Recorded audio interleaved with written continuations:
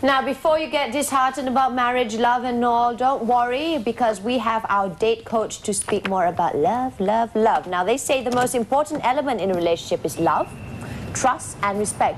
But I honestly, I honestly believe the key in gluing all this together is still communication. And today, as promised, we have Andrew Chow, who will share with us 10 essential skills to enhance the couple's communication as well as five relationship compatibility time bombs. So, good morning, Andrew, and welcome back. How art thou? Oh, very good. And, That's uh, great stuff. You know, time You know- flies, four weeks. Four weeks indeed, I Yeah. know. I've, I've, I've applied some of the um, little tips that you guys have been, you Okay. know, sharing with me. Mushida was here with Yes, us Mushida. Uh, yesterday. Yeah, Heko and Selena. And uh, yes, yeah. Heiko's, yeah, they're, they're lovely, aren't they? Power Yeah, couple. power So today you are going to share with us communication skills. That's Yes. really vital, right? That's right. Okay.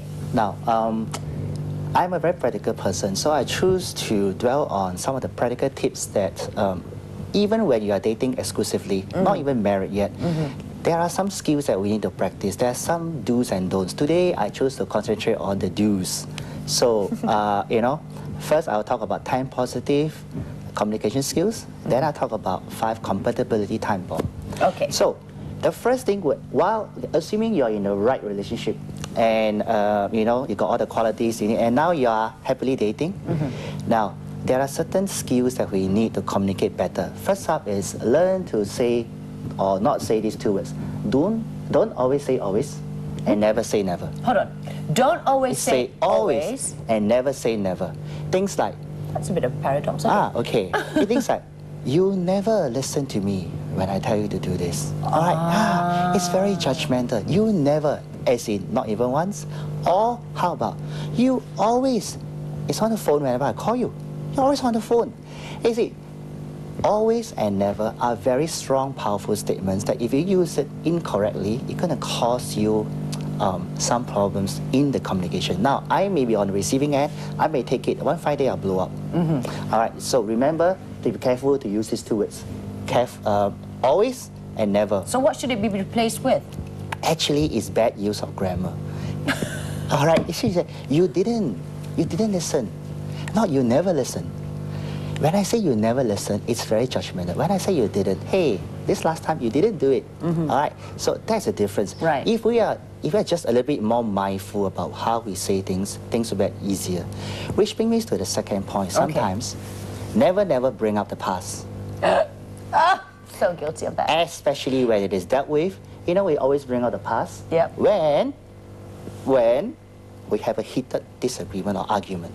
Oh, that's so true. Remember in 1985, you did this, you know. So if it's dealt with, never bring up the past because it will be no end. If you bring up the past, I bring up the past, and you know we can't move forward.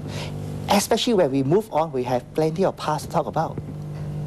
All right. Terrible. Okay. Yes. uh, Number three, I think when we are in a disagreement, even though we are in a quarrel, which is common among couples, between couples. And it's actually healthy, you know, having right. one or two fights. So sometimes having noisy communication is, is healthy. It's a form of communication. Right. But in a quarrel, be very careful to be the one having the very, very last word.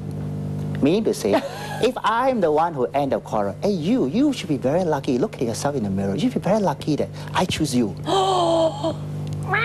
now, on the surface, I may be winning this argument, mm-hmm. but actually, whatever I just said last mm-hmm. hurts you the most. Mm. And that is why you kept quiet. Mm-hmm. You choose to end the quarrel, not because you think you didn't win, but because you're so hurt, you just want to walk away.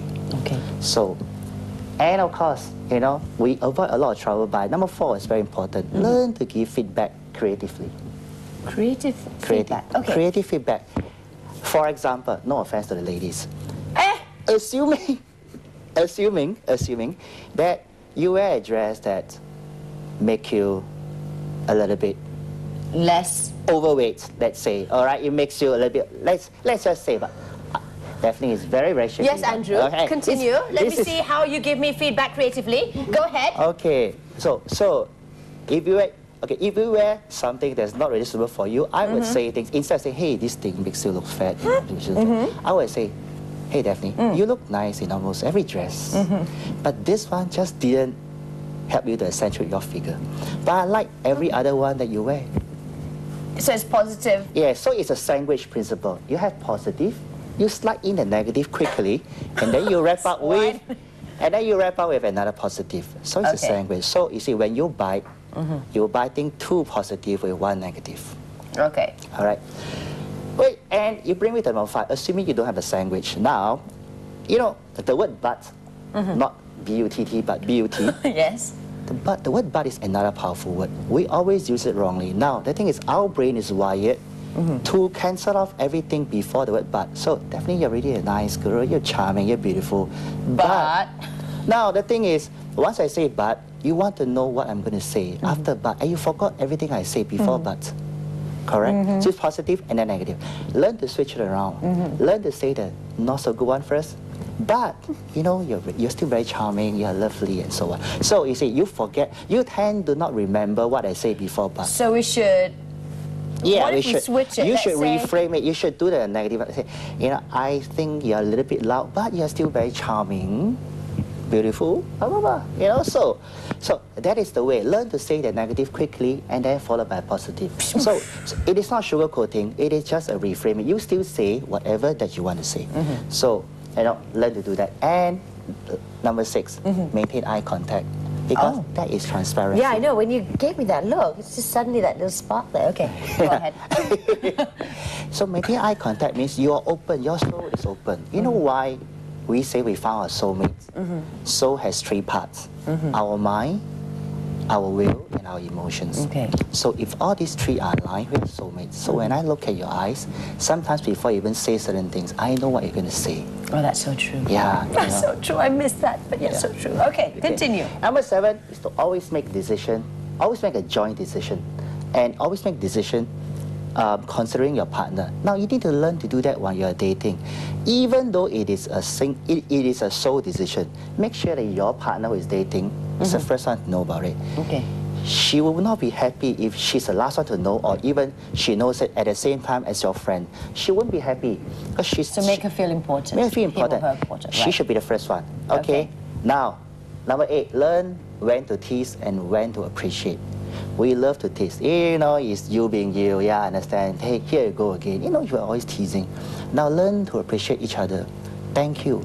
You know, sometimes these two words are just taken for granted. After a while, you fail to say thank you. Men, learn to say, I feel. Da, da, da, da. You fill in the blank. Mm-hmm. You know, women, we need to open up more emotionally. Yeah. Because I hate yeah. too much. Yeah. Yeah. Yeah. Yeah. Yeah. Yeah. Okay. But women has its own problem too. Women feels a lot, but Yeah, yeah, yeah, yeah, yeah. but Goodness. I think women needs to use the brain and the mind more sometimes. Hey, Yeah. that ain't fair. okay, Okay. number nine. Number nine, always give each other the benefit of doubt because every action has a positive intention. Okay. So don't assume when certain things this person do or say, it's you we jump to conclusions. Don't assume. Don't Okay, assume. number ten. Last but not least, concentrate on how you make the other party feel. You know, there's this wise saying, Mm. people may forget what you say, Mm-hmm. people may forget what you do, but they will not forget how you make them feel. That's true. Okay, very, very quickly. Unfortunately, we're running out of time. We've got the five time bombs. So, what are they? Okay, very quickly. If you, ha- if you have significant age differences like 20, 25 years, that Mm-hmm. is going to be a time bomb, so be very careful. Number two, if you have different spiritual conviction, that's going to cause a problem too. Oh, dear. Very, very different.